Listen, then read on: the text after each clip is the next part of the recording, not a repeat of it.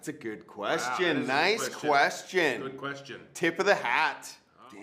These questions I'm giving, these are legit. Yeah, these are really good questions. I appreciate you. I always- I've got a thousand more questions for you. I wish oh, I Oh, could have. that's like I nine And good ones. more. Good and good ones.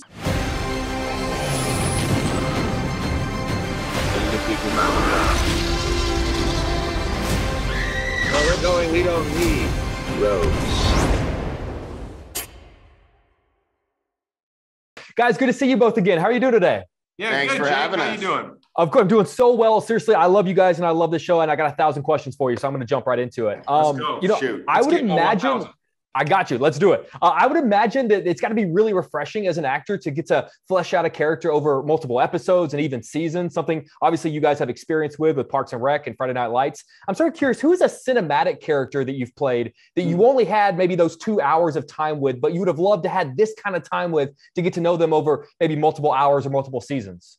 That's a good question. that is a good nice question. question. Good question. Tip of the hat. Um, Multiple. mo- yeah, go ahead. What do you got? Um, I'd love to even 21 Bridges. I play a guy named Ray, and he's. I'd love to go into his backstory to see why or how. Obviously, I have it in my head of why he is the way he is, but it would have been really cool just to even figure that out because he's a really deep-seated guy to play. So that would have been cool. It was a phenomenal performance, by the way.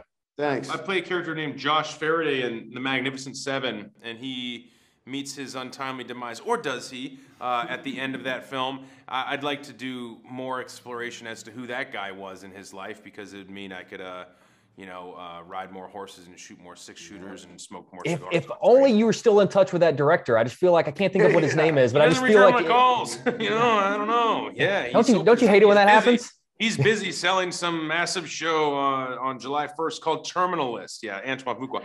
I'd love to do that. Uh, that'd be great. Yeah, that'd be a good one. I'd love to. Honestly, both of those sound. But right now, Amazon's behind the scenes writing all of these down. Like, yep, that sounds good. Those are those are great ideas. Um, you know, Chris, your character, without getting into spoilers, is is very much haunted by this single mission that went wrong. He can't let it go. So I'm wondering if either of you have an acting equivalent of that. Maybe a role you turned down, a, a take you wish you had done differently, a line you wish you had read differently. Is there something in your career that you can't shake or let go of? Damn. These questions I'm giving, these are legit. Yeah, these are really good questions. I appreciate you. Uh, go ahead. What do you? Anything? God. Something I can't let go. I'm pretty darn proud, man, of, of the journey. I, I'm sure as actors, you're always like, I can be better in this. In retrospect, there may be a scene or a take that they kept that you maybe were like, mm, there's better ones, or they cut out certain emotional beats that made sense to you and your arc that are out. Um, basically, I have to edit my own stuff. Yeah, right? uh, honestly, honestly, like, I, I don't think it's the str- the strange reality is that no actor or producer or f- creator of, you know, art in film and television is ever a member of the audience, you know, of their own film. And so, like, it- it dawned on me, you know, a while ago, like Steven Spielberg has never sat down to watch a Steven Spielberg movie.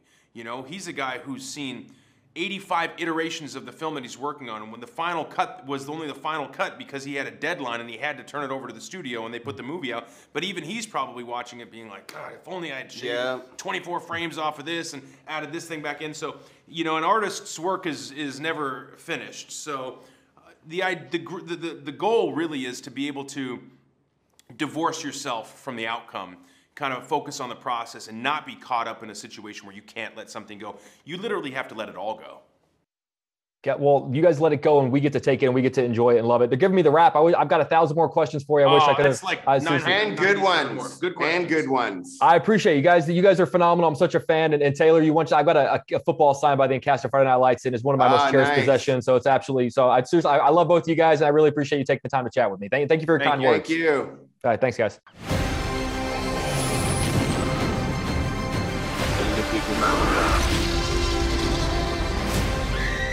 We're we don't need roads.